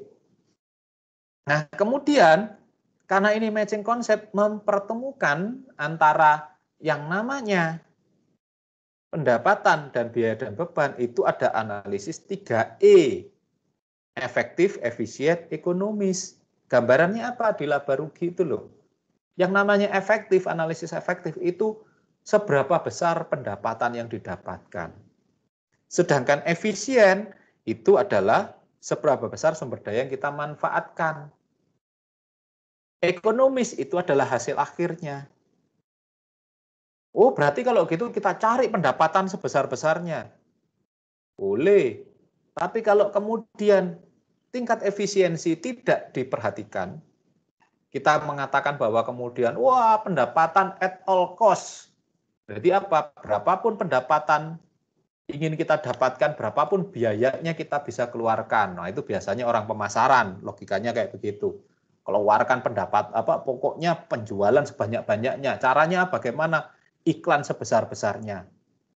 Ya tetap aja kalau kemudian terlalu efektif tapi tidak efisien, ya hasilnya juga tidak ekonomis, ekonomisnya tidak terlalu tinggi. Oh Pak, berarti kalau gitu kita melakukan efisiensi sebesar-besarnya. Efisien, wah ditekan, biaya itu ditekan semurah-murahnya, beban itu ditekan semurah-murahnya, kecuali biaya dan beban tetap. Tapi pendapatannya tidak memenuhi, tidak nututi, tidak mencapai tingkat yang diinginkan. Hasilnya apa? Bisa saja ternyata labahnya kecil, ekonomisnya kecil. Bisa juga malah rugi. Nah, itu kan kebetulan ini ya, ini ini empirisnya. Kemarin saya saya kebetulan juga bekerja di eh, sebuah eh, ini ya, sebuah lembaga yang lain yaitu uh, sebuah lembaga koperasi kredit ya atau kredit union. Nah, kita melakukan yang namanya analisis 3E itu efisien efektif di triwulan pertama. Kebetulan posisi saya adalah ketua pengawas. Jadi, uh, saya koordinator dari uh, auditor internalnya. Apa yang terjadi? Efisiensi kami efisiensi kami ya, itu tingkatnya 60%. Artinya harusnya kita mengeluarkan sebesar sekian miliar, itu cuman kita keluarkan 60%. Asik kan efisien? Wah, berarti kita bisa ngirit. Harusnya kita mengeluarkan uang itu sampai 19 miliar gitu ya. Kita hanya mengeluarkan sebesar 12 eh, atau 13, 12, sekian. Mirip. Waduh. Eh, tapi ternyata pendapatan yang kita harapkan jauh dari apa yang kita pikirkan. Cuman sebesar 60 persen. Jadi kalau di BEP kan itu kita nggak BEP. Karena apa? Ternyata lebih besar masih sudah ngirit kayak begitu. Itu masih lebih besar biaya ketimbang pendapatan yang diterima. Akhirnya untuk tiga bulan pertama ini kondisinya masih rugi walaupun potensinya masih banyak karena potensi pendapatan itu salah satunya ya karena kooperasi kredit salah satunya di akhir apa ya di tiga bulan pertama ini tingkat penagihannya memang belum semuanya eh, penuh ya pelunasan dari orang-orang dan sebagainya kalau nanti pelunasan dan sebagainya terus kemudian eh, berharap dari investasi kita di kooperasi yang lain di tempat-tempat yang lain itu ada potensi yang kemudian pendapatannya jadi lebih lebih besar. Kalau pendapatannya lebih besar dengan biaya yang kita sudah ngirit, kita masih bisa uh, untung laba di tahun ini. Artinya apa? Sementara ini kita sudah efisien, tapi efektivitas kita masih rendah. Ternyata ada beberapa potensi yang belum terambil. Nah, kalau itu ditambahkan, itu bisa saja menjadi positif. Tapi tidak bisa kami lakukan sekarang, tidak bisa dilakukan tiga bulan pertama ini, karena terikat dengan kontrak-kontrak pengembalian dan sebagainya yang itu lebih banyak di bulan Juni dan Juli. Mungkin di semester triwulan kedua, di, di tengah tahun, semester itu, kita berharap ada analisis yang kemudian uh, bisa menghasilkan efektivitas yang lebih tinggi ketimbang efisiensinya sehingga ekonomisnya positif. Nah, ini sekaligus menjawab per, apa, eh, pertanyaan dari eh, Alex juga, terus kemudian ada dari Agnes. Bagaimana kemudian kinerja operasional saat pandemi? Nah, ini yang kami rasakan sekarang. Kami dalam kondisi pandemi mengalami semuanya. Orang-orang yang kemudian dalam tanda petik sebagai koperasi kredit yang memberikan pinjaman ke orang-orang, banyak orang ya, terutama petani, pedagang kecil dan pasar se-Jawa Timur ini ya Jawa Timur tapi kebetulan bagiannya dari Blitar Raya sampai ke dari Blitar Raya, Malang Raya, Pasuruan Raya sampai ke Probolinggo. Yang atas-atas kami tidak ambil ya karena memang bukan wilayah kerja kami. Nah, itu apa yang terjadi? Pandemi terasa loh, walaupun petani itu kan katakanlah ya siapa pun orang tetap butuh makan loh di masa pandemi ini loh terasa pengaruhnya. Karena apa? Ternyata banyak orang yang takut pinjam. Jadi ada beberapa yang kemudian itu malah memperbesar simpanannya. Yang mereka punya lebih ya, yang tidak gitu yang kemudian mereka malah ambil karena untuk kebutuhan kebutuhan-kebutuhan sehari-hari. Tapi ada kemudian mereka yang punya lebih, yang tuan-tuan tanah gitu ya, eh, itu kemudian malah menyimpannya dalam jumlah banyak uang-uang itu tidak kemudian mereka konsumsi, mereka kemudian simpan. Wah, itu kan jadi beban gitu ya, karena kemudian simpanannya lebih tinggi ketimbang pinjamannya. Artinya jualannya ketimbang kulaannya kita itu kalah-kalah banyak. Nah, selama pandemi ini terasa. Tahun kemarin sudah merugi, tahun ini kita coba merugi yang dari perkiraan kita selama pandemi awalnya kita akan rugi 2 miliar gitu ya. Waduh sudah pusing gitu bagaimana mengusahakan setelah kami usahakan efisiensi dan sebagainya. Ya akhirnya uh, ruginya nggak sebesar itu di bawah satu miliar ya. Nah itu yang kemudian uh, jadi optimis. Nah sekarang pengendalian terhadap anggaran ini kami perkuat dan kemudian kesempatan-kesempatan investasi itu kami perbesar. Apa yang terjadi? Dalam tanda petik operasional hari ini sudah mendekati BEP tapi masih belum. Tapi dengan potensi kita lihat pada awal bulan-bulan selanjutnya, nah, kalau lancar semuanya, kami akan surplus di semester pertama nanti. Ya di bulan Juli akhir bulan Juli kami akan surplus. Jadi tidak lagi negatif. Walaupun jumlahnya tidak akan sebesar sebelum pandemi. Itu semua sektor keuangan. Ya mau mau koperasi kredit mau BPR kayak mau kemudian bank umum semua pada begitu semua pada kolab pada turun semua. Di industri keuangan. Industri yang kemudian menghasilkan laba operasional tinggi itu uh, bidang telekomunikasi khususnya internet waduh namanya kebutuhan paket itu kan kita sekarang semuanya dengan daring ya wes mau nggak mau ya keluar biaya untuk itu dan siapa yang dapat ya yang dapat ya Telkomsel, Smartfren, Tri dan sebagainya yang punya dapat pendapatan tinggi. Retail aja pada banyak yang tutup ya. Giant tutup. Ada banyak yang tutup. Sentro tutup di beberapa tempat yang gede-gede.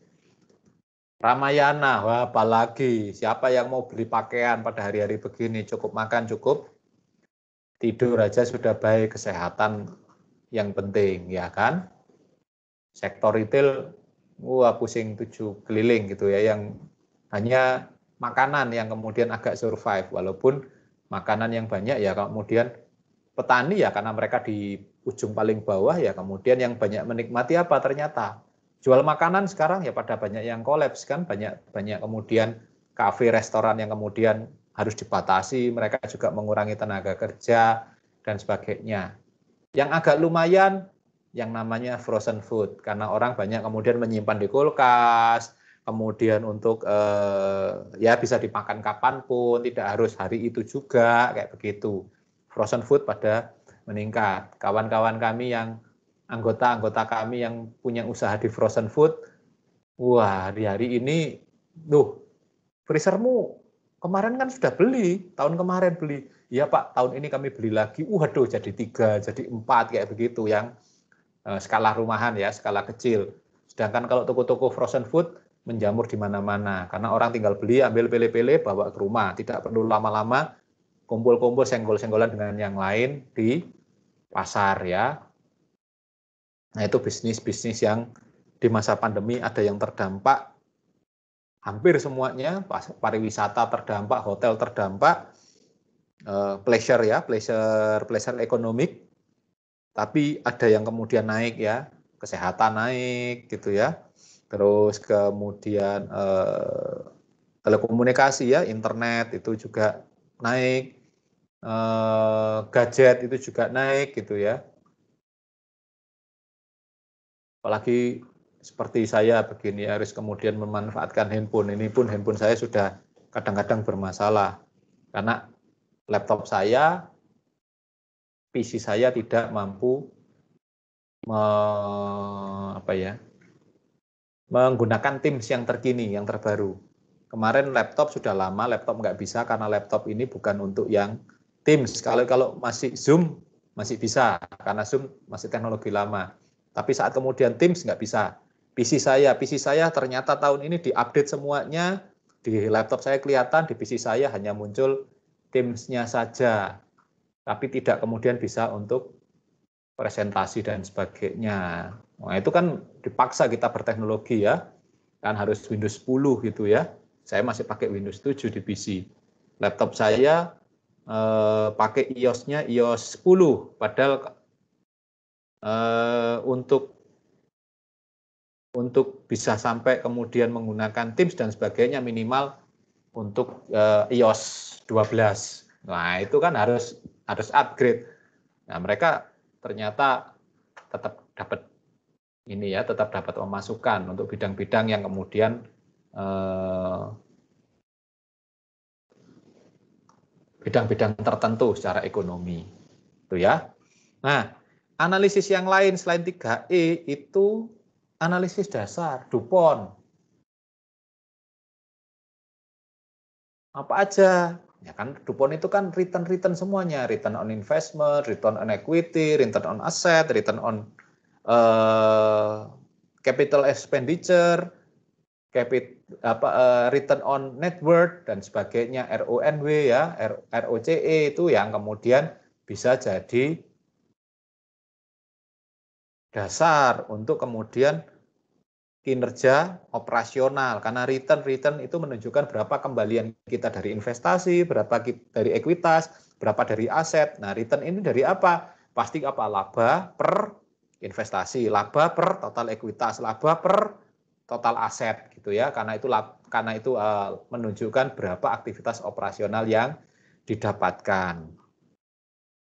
Nah, yang lain lagi selain kemudian DuPont, itu apa? Analisis rasio. Kelompok ini sudah memasukkan analisis rasio, tapi hanya sayang hanya menggunakan EPS. Padahal kita tahu kinerja operasional itu bisa kemudian apa? Dari rentabilitas atau profitabilitas. Ya kan? Yang isinya juga sebenarnya ROI, ROA, ROE, dan sebagainya. Hanya memang kemudian ditarik garis trennya dan sebagainya. Nah, ini tidak dibahas oleh kelompok ini. Terus kemudian apa? Dari namanya analisis rasio aktivitas, perputaran-perputaran, ya. Kalau di rasio itu ditandai dengan apa? Kata perputaran depannya. Perputaran apa? Oh, katakan ada perputaran aset, perputaran piutang. Jadi dalam setahun ini berapa kali dia akan menjadi pengembalian bagi kita. Nah, itu ada perputaran aset, perputaran piutang, perputaran aset lancar, dan semuanya-semuanya itu di rasio aktivitas. Dan kemudian apa? Ada rasio pasar. Yang isinya apa? Ada EPS, earning per share berapa, kemudian itu tingkat laba per sahamnya. Berapa kemudian dari laba itu laba bersih. Laba bersih itu eh, laba bersih itu Eh, menjadi EPS ya earning per share. Terus kemudian dikurangi dividen menjadi dividen per share. Berapa bagian keuntungan yang kita berikan untuk pemegang saham, sisanya kan jadi saldo laba. Nah, itu belum ada, belum dimasukkan di sini di kelompok ini. Jadi itu ya yang di bagian-bagian bab dua bagian akhir itu ada banyak analisis yang tidak atau belum dimasukkan. Nah, akhirnya waktu di kelompok ini membahas studi kasus memang ber, eh, perkembangan arus kas dan sebagainya ya. Kemudian eh, analisis analisis arus kas investasi dan sebagainya eh, sudah lumayan terbahas oleh kelompok ini. Begitu kira-kira. Jadi kelompok ini nanti ada beberapa yang memang harus ditambahkan. Gitu. Oke. Sampai di sini penjelasan saya. Mungkin ada yang mau ditanyakan, didiskusikan oleh baik penyaji maupun audiens. Silahkan kalau memang ada yang mau ditanyakan.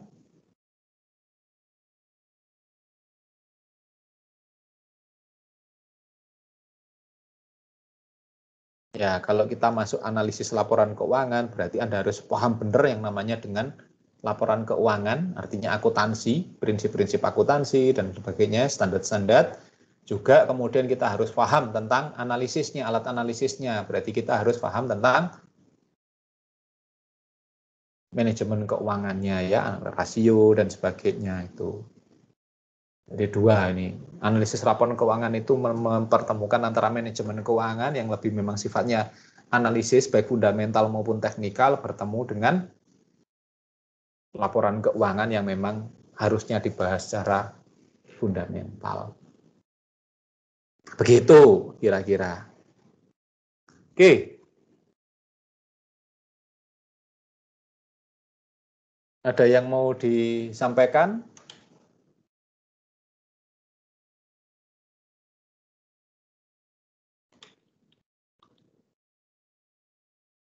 Atau ada yang mau ditanyakan?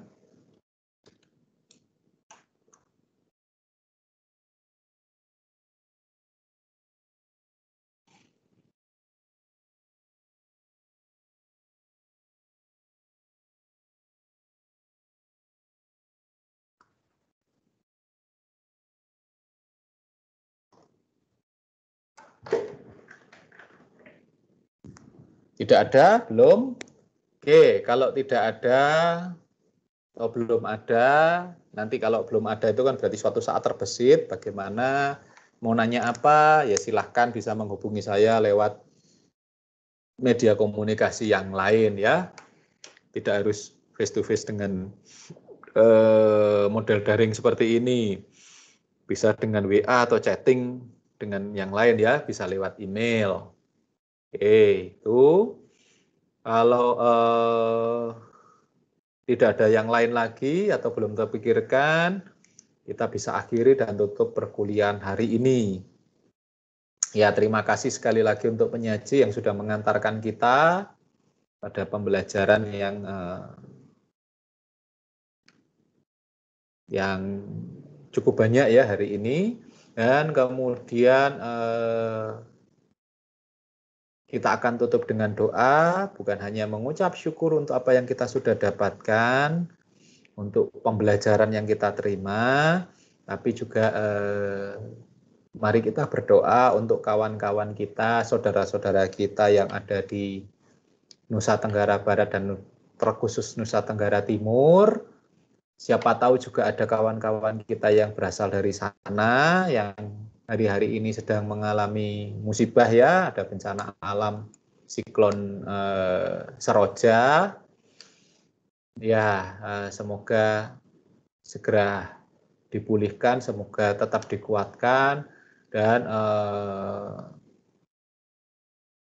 ya kita semuanya tetap sehat dan eh, ya semoga semester depan kita bisa juga terlewatkan dari pandemi ini. Semoga semester depan kita uh, bisa kuliah dengan tatap muka.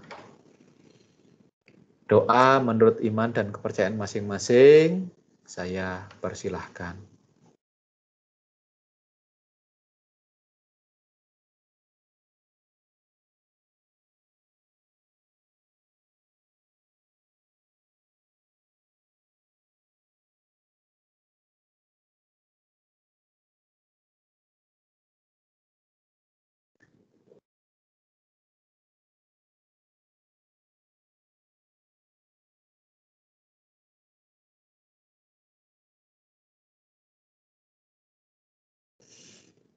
Terima kasih.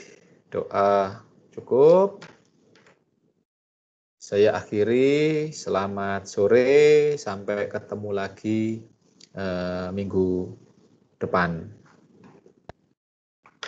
Terima kasih. Terima kasih Pak, selamat sore. Terima kasih Pak Dan. Terima kasih Pak. Terima kasih Pak Dan. Terima kasih, Pak. Terima kasih, Pak.